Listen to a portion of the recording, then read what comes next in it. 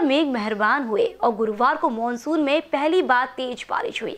इससे जहाँ एक और तापमान कम हो गया, वहीं शहर की निचली बस्तियों के साथ ही अंडरब्रिज जलमग्न हो गए। रेलवे स्टेशन, बस स्टैंड हो या फिर शहर के बाज़ार, दोपहर में हुई मूसलाधार बारिश ने सभी इलाकों में जल जमाव की स्थिति पैदा कर दी।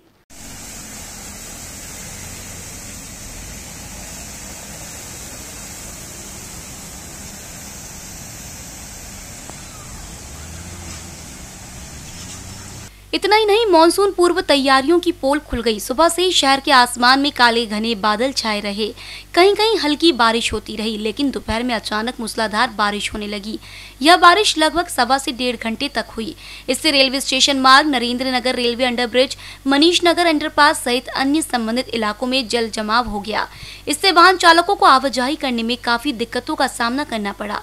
शहर में इस साल मानसून में गुरुवार को ही झमाझम बरसात ने एक बार फिर से प्रशासन की कार्यप्रणाली की पोल खोल कर रख दी। हर साल की तरह इस बार भी नरेंद्र नगर रेलवे अंडरब्रिज जलमग्न हो गया। यही कुछ साल पहले बनाए गए मनीष नगर अंडरपास भी पानी से लबालब हो गया। इससे वाहन चालकों और राहगीरों को रास्ते से गुजरते समय काफ़ी परेशानी झेलनी पड़ी।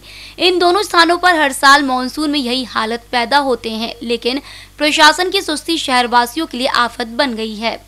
कैमरा पर्सन अखिलेश भारद्वाज के साथ अभिषेक पानसी बीसीएन न्यूज़ नागपुर।